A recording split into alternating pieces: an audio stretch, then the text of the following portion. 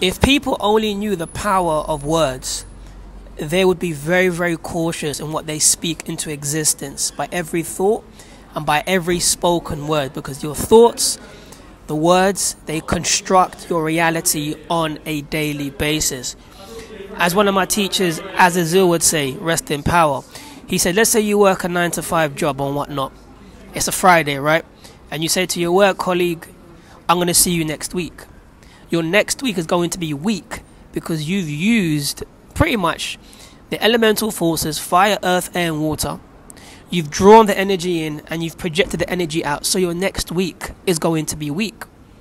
So he said to pretty much say, My seven days are strong.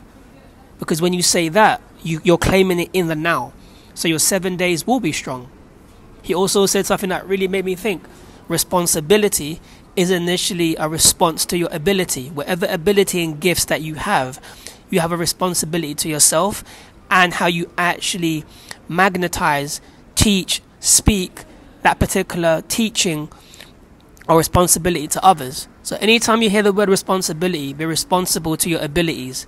And every time you go to work or do your thing, your seven days are strong. They're not weak because you're not weak. But if you claim it in the mind, you're going to be either weak or strong.